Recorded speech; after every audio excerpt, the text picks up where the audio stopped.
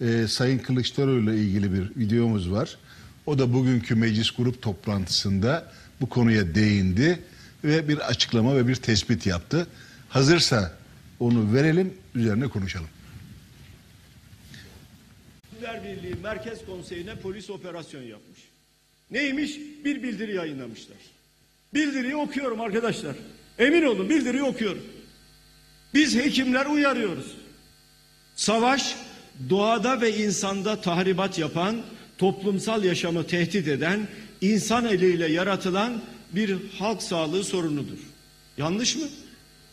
Doğru.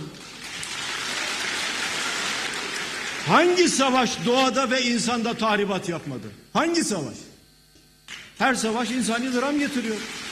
Savaşa hayır barış hemen şimdi demişler. Vay sen misin bunu diyen alın sabahın köründe basın tutuktayın gözaltına alın.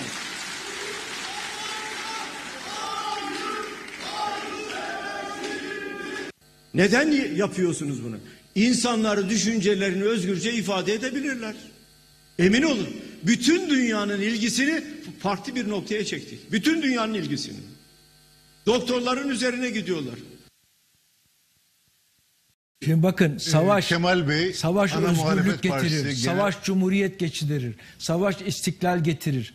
Savaş başı dik yaşama getirir. Savaş insanları e, sömürüden kurtarır. Savaş kadınları tecavüzden kurtarır. Savaş Ayrım savaş yapmadan söylüyorsunuz ama haklı savaş. E, tabii haklı savaş ama savaş yıkıcıdır. Hangi savaş tahribat yapmamıştır? Savaşlara karşı, vatan savaşına karşı, haklı savaşa karşı ve orada CHP bağırıyor savaşa hayır diye. O savaşa hayır ne demek bugün? Ben Amerika'nın yanındayım demek.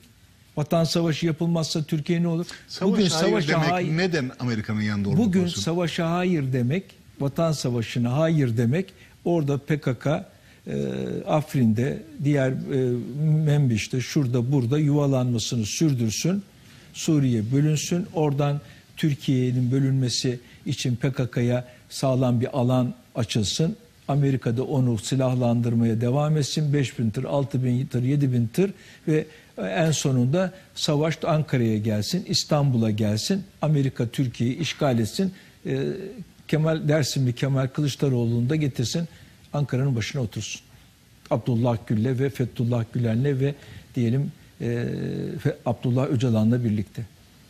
Eğer bu savaşa hayır demezse Türkiye, yani savaşı yapmazsa, bu savaşın sonuçlarını toplamazsa Türkiye çok büyük bir tehdit altında. Bu savaşı Türkiye aynı İstiklal Savaşı gibi. Yani Yunan İzmir'e çıktığı zaman nasıl Türkiye'nin o savaşı yapması gerekliydi. Bugün de Türkiye e, Amerika Birleşik Devletleri'nin Suriye'nin kuzeyinde yuvalanmasını bozmak zorunda. Bozmazsa bunun sonuçlarını çok ağır bir şekilde öderiz. Hele şimdi savaşın ortasında bu propagandalar doğrudan doğruya Mehmetçi'ye hedef alıyor. Şimdi şu e, lafları cephedeki Mehmetçiğin, subayın e, ve milletin dinlediği zaman etkisini düşünelim. Mehmetçik ne der bu lafları duyunca? Ben niye burada savaşıyorum ya? Otları, çayırları, e, doğayı tahrip etmek için, insanı tahrip etmek için. Efendim bütün savaşlar yıkıcıdır. Öyleyse ben niye savaşıyorum? Onu sormayacak mı? Yani bu doğrudan doğruya bir bozguncu ve yıkıncı pro- propaganda. Bu düşman tarafta, Amerika'nın tarafında, PKK'nın tarafında yer alan propaganda. E yakışıyor. Neden? Ankara'dan İstanbul'a hapisteki PKK'lıları, FETÖ'cüleri çıkartmak için yürümediler mi? Şimdi aynı görevi sürdürüyorlar. Soru. Ee, Tabipler Yüksek Konseyi'nin, Tabipler Birliği'nin Yüksek Konseyi'nin e, yöneticileri, şey üyeleri hakkındaki takibatı, soruşturmayı doğru buldunuz. Gözaltına aldınız. Şimdi bakın e, ben hiçbir hükümetin hiçbir e, eylemine e, şey olmam, kefil olmam. Çünkü Türkiye'yi ben şu anda yönetmiyorum. Yönettiği ama şunu söylüyorum. E, Atatürk gibi yapacağız. Yani Atatürk zamanında Ankara'da hiç kimse savaşa hayır diye bir bildiri dağıtamaz. Dağıtamazdı İstiklal Savaşı'nda. Ama başka konular tartışılır. Mecliste geniş özgürlük vardı birinci mecliste. O hatta Atatürk'e tabanca çekenler bile oldu Ali Şükrü gibi değil mi? Yani çok geniş bir özgürlük vardı. Savaş stratejileri konuşuldu. Efendim e, siyasetler konuşuldu. Sor, sorum Ama şuydu. Şu- bakın ben bugün büyük bu hükümetin AKP hükümetinin yaptığı hiçbir işe kefil olmam ve onu uygulamam. Ama ben Vatan Partisi'nin programını söylüyorum. Vatan Partisi Türkiye'de savaşı yönettiği zaman iç yıkıcılığa kesinlikle izin vermez.